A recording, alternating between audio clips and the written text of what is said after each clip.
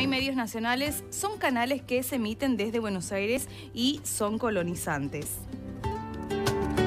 La mañana de este jueves 25 de agosto se realizó la apertura del segundo plenario anual del Consejo Federal de la Televisión Pública en la ciudad de La Rioja, que fue encabezada por el gobernador Ricardo Quintela y autoridades de medios públicos. En la oportunidad se hicieron presentes el secretario de Medios y Comunicación Pública de la Jefatura de Gabinete de Ministros, Juan José Ross, la subsecretaria de Medios Públicos de la Nación, Rosaura Audi, la directora de Radio y Televisión Pública Argentina, Rosario Lufrano y representantes de 18 provincias de nuestro país. El objetivo del encuentro fue para dialogar, aportar experiencias y delinear políticas de gestión para desarrollar en los canales de televisión pública para la integración federal, promover el desarrollo cultural, ampliar la oferta de contenidos audiovisuales y el acceso a la información a través de los medios públicos. Digo,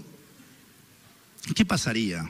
si los medios de comunicación en general, como lo hacen muchas de las televisoras públicas, se dedicaran en una hora, se lo dije hace poco a los dirigentes de los canales de televisión privados nacionales,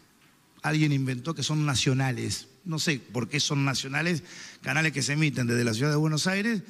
y que tienen por imperio de una posición dominante y sobre todo porque tienen mucha plata la posibilidad de penetrar en muchos lugares del interior. Pero eso de nacional, para mí, dista bastante. Es una posición colonizante en todo caso, pero definitivamente no hay medios nacionales.